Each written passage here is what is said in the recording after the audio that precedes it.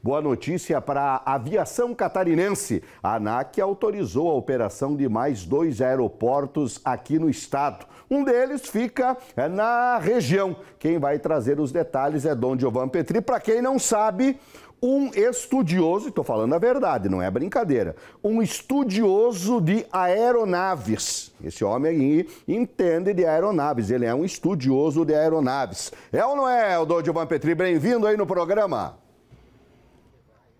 Obrigado, Eduardo Prado. Bom dia para você e para todos que nos acompanham aqui no Balanço Geral. Estou estudando um pouquinho só.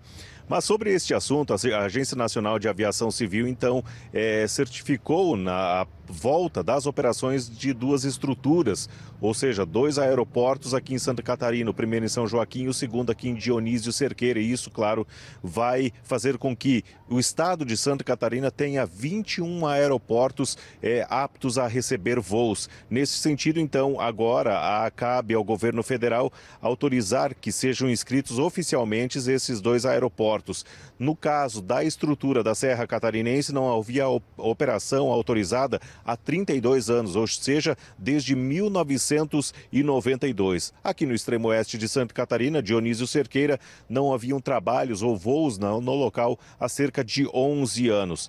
Segundo o secretário de Portos, Aeroportos e Ferrovias aqui de Santa Catarina, Beto Martins, no começo do ano passado havia três estruturas fechadas entre as 21 existentes aqui no estado. Agora, com a liberação de Forquilinha, também lá no sul do estado, e as autorizações de São Joaquim e Dionísio Cerqueira, teremos 21 aeroportos aptos então a receber voos, sejam eles voos comerciais, em alguns casos, em outros, por exemplo, estes dois, voos para receber, por exemplo, aeronaves executivas, médicas, enfim, e outros. É, outras possibilidades. Agora, a portaria da ANAC ainda precisa ser publicada no Diário Oficial da União, mas o governo de Santa Catarina já foi avisado sobre estas autorizações.